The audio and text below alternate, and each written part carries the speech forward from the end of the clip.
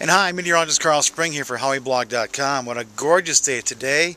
It feels like winter is ending and spring is coming up, which of course, it's only a couple weeks away anyway. This is nice. Sunshine today, all day long. Today is high about 35, which is a couple degrees above normal. Normal high is 32. A wonderful day today.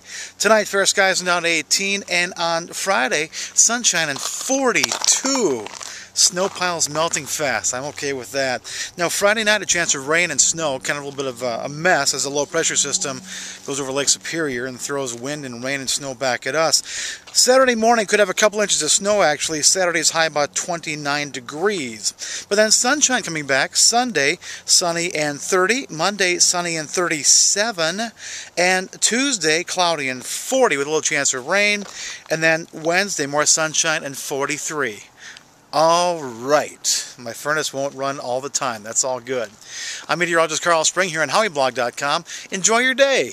It's a good one. See ya.